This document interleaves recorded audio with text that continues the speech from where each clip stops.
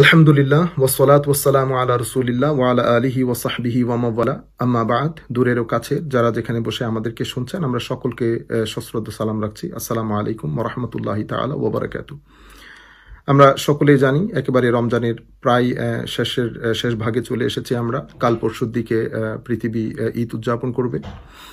এরই মধ্যে আমরা এবারকার ঈদ যেটা, সেটা কমপ্লিটলি ডিফারেন্ট আমরা ইতিহাসে, পৃথিবীর ইতিহাসে এই ধরনের ঈদ এর আগে কখনো হয়েছে কিনা আমরা জানি না।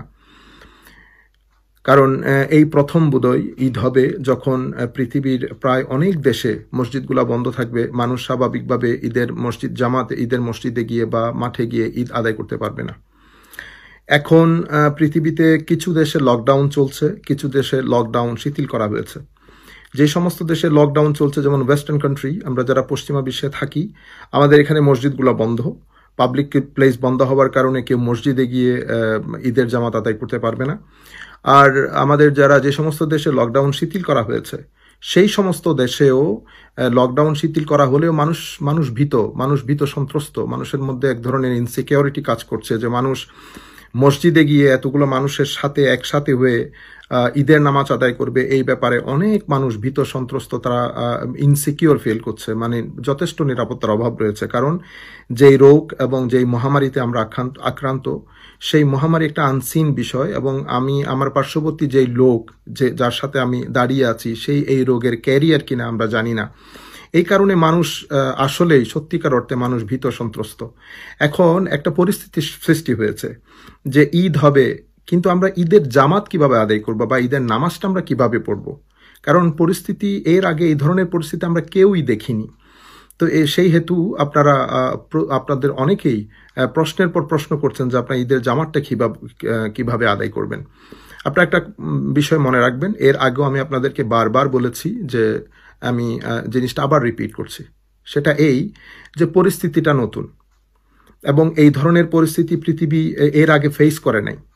কাজেই আমরা প্রত্যেকেই যার যার মত না দিয়ে আমরা যদি ফোকাহাই কেরাম, আমাদের মধ্যে যারা ইসলামিক জুরিস্ট আছেন, যাদেরকে আল্লাহ রব্বুল আলমিন মাস আল্লাহ ডিরাইভ করার মতো এবং কোরআন হাদিস থেকে আমাদেরকে সঠিক তত্ত্ব দেওয়ার মতো, যাদেরকে আল্লাহ সামর্থ্য দিয়েছেন, যাদেরকে আল্লাহ ইবল করেছেন, যারা সত্যিকার অর্থে অ্যাবিলিটি রাখেন, আমাদের উচিত হবে সেই সমস্ত ইসলামিক জুরিস্টের ধারে ধারে গিয়ে ওই ফতোয়াগুলা, তাদের এক্সপিরিয়েন্সটা জেনে নেওয়া।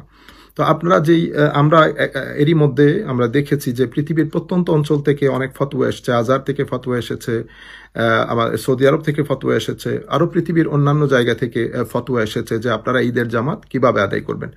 আমরা আপনাদেরকে এভাবেই বলব যে আমি যেহেতু পশ্চিমা বিশ্বে থাকি সেই হেতু আমাদের মানে এক এক দেশের কনটেক্সট এক এক রকমের হবে। এখানে মাসালাটা হচ্ছে দুই ধরনের। এক ধরনের হচ্ছে ইমাম শাফি এবং ইমাম মাহমুদ ইবনে হাম্বলের যারা ফলোয়ার্স যারা ওই school of Hanbal school of Islamic law এবং Shafi school of Islamic law follow করেন।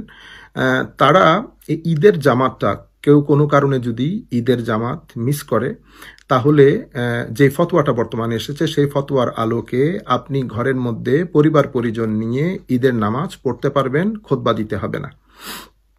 এটা একটা বিষয়। আরেকটা বিষয় আমাদের হানাফি এবং মালিক স্কুল অফ ল আমরা যারা ফলো করি, হানাফি স্কুল অফ ল আমরা যারা ফলো করি, তো আমাদের বিষয়টা হচ্ছে যে আপনি ঈদের নামাজ কোনো কারণে মিস হয়ে গেলে আমরা ঘরের মধ্যে নফলা চার রাখাত সলাতুদ্দোহা দুই রাকাত বা চার রাকাত নফল নামাজ আদায় করব, সলাতুদ্দোহা, যেটাকে আমরা চাষদের নামাজ বলি, সলাতুদ্দোহা আদায় করব। এবং এই ব্যাপারে আমরা কেউ গুণাগার হব না। ঈদ মিস করার কারণে আমরা কেউ গুণাগার হব না। মনে রাখবেন, এটা একটা বিশেষ অবস্থা। এই বিশেষ অবস্থার মধ্যে ইসলামের মধ্যে স্পেশাল কনসিডারেশন রয়েছে। যেমন আপনি দেখেন জুমার জন্য একটা স্পেশাল কনসিডারেশন রয়েছে। আপনি যদি সফরের মধ্যে থাকেন, আপনি জুমা পড়ছেন না, জুমা আপনার উপর ফরজ না। কেউ যদি অসুস্থ থাকে তার উপর জুমা ফরজ হচ্ছে না। ইভেন যেমন আপনি অজুর পরিবর্তে আপনি যদি তায়ামুম করছেন, সেটা একটা স্পেশাল বিশেষ অবস্থার পরিপ্রেক্ষিতে আপনি পানি দিয়ে অজু না করে মাটি দিয়ে তায়ামুম করছেন। বিশেষ একটা অবস্থার পরিপ্রেক্ষিতে যেখানে আপনার জন্য নামাজের জন্য দাঁড়ানো ফরজ, সেখানে আপনি বসে বসে নামাজ পড়ছেন। অর্থাৎ ইসলামের মধ্যে, ইসলামী শরীয়তের যে মাসলামা সাইলগুলো আছে, সেগুলো কিছু জায়গার মধ্যে বিশেষ অবস্থার ক্ষেত্রে রুল পরিবর্তন হয়ে যায়। বিশেষ অবস্থার ক্ষেত্রে শরীয়তের যে কানুন, সেটা পরিবর্তন পরিবর্তন হয়। সেই হেতু, এটা যেহেতু বিশেষ অবস্থা, এই বিশেষ অবস্থার মধ্যে আপনি যদি ঈদের জামাত না পড়েন, আপনি যদি ঈদ না পড়েন, তো আপনি গুণাগার হবেন না। সুতরাং আপনি আপনার কাছে এখন দুইটি অপশন। একটি অপশন হচ্ছে যে ঘরের মধ্যে আপনি ঈদের নামাজ পড়বেন, যারা Hanafi Hanbali school of Islamic law এবং Shafi school of Islamic law follow করে। এই ধরনের একটা ফতোয়া এসেছে। আরেকটা ফতোয়া হচ্ছে আমাদের Hanafi school of Islamic law এবং Shafi school of Malik school of Islamic লোর আলোকে আমরা ঈদের নামাজ পড়ব না। আমরা ঘরের মধ্যে চার রাকাত বা দুই রাকাত সালাতুদ্দোহা যেটা আমরা চাষদের নামাজ বলি, সেই নামাজটা আদায় করব এবং এতে আল্লাহ রব্বুল আলমিন আমাদেরকে সবাব দান করবেন। এখন প্রশ্ন হচ্ছে, আপনারা কোন দিকে যাবেন? মানে যেহেতু এখন দুনিয়াটা একটা গ্লোবাল ভিলেজ হয়ে গেছে। গ্লোবাল ভিলেজ হওয়ার কারণে আজার থেকে একটা ফতোয়া ইস্যু করা হলে সেই ফতোয়াটা এক সেকেন্ডের মধ্যে পুরো পৃথিবীতে ছড়িয়ে পড়ে। আমার হাতেও চলে এসেছে, আপনার হাতেও চলে এসেছে। পৃথিবীর কোনো বড় জায়গা থেকে কোনো বড় ইসলামিক জুরিস্ট যখন কোনো ফতোয়া দেন সেই ফতোয়াটা সেকেন্ডের মধ্যে পুরো পৃথিবীতে ছড়িয়ে পড়ে। এই কারণে আমি যেটা দেখতে পাচ্ছি যে আমাদের প্রত্যেকের মধ্যে একটা মানে একটা ডিস্টারবেন্স একটা আনরেস্ট কেমন যেন একটা সমস্যা দেখা দিচ্ছে। আমি আপনাদেরকে যেটা বলব, আমরা যারা বাংলাদেশে থাকি, যেহেতু আমরা Hanafi school of Islamic law follow করি অলরেডি আমাদের বড় বড় মুফতিয়ানে কেরাম, যারা ইসলামিক জুরিস্ট তারা according to the light of Hanafi school of Islamic law already ফতোয়া দেওয়া হয়েছে যে আপনারা ঈদ পড়বেন না। কারণ ঈদের জন্য কিছু শর্ত সরায়ত রয়েছে। সেটা আইমাই কেরামের মধ্যে অনেক ধরনের মতপার্থক্য রয়েছে। সেই শর্ত সরায়তগুলো পাওয়া না যাওয়ার কারণে আপনি ঈদের দিন ঈদ না পড়ে আপনি নফল নামাজ আদায় করবেন, যেটা আমি কিছুক্ষণ আগে আপনাদেরকে মেনশন করেছি। তো এগুলাকে হালকা মনে করার কোনো কারণ নেই, আর কোনো একটা শুদ্ধ আর একটা অশুদ্ধ এটা মনে করারও কোনো কারণ নেই। আমরা যেহেতু Hanafi school of law Hanafi school of Islamic law follow করি, তো আমাদের এত্তেহাদে উম্মতের জন্য অন্তত মুসলমানদের, বাংলাদেশি যে আমরা মুসলমানরা থাকি, আমাদের মধ্যে যাতে একটা মানে ঐক্য থাকে, এখন আপনি একটা পড়বেন, আরেকজন আরেকটা পড়বে, তো এতে দেখা যায় যে এই দ্বিমতগুলো আমাদের মধ্যে অনেক ধরনের প্রবলেম ক্রিয়েট করে।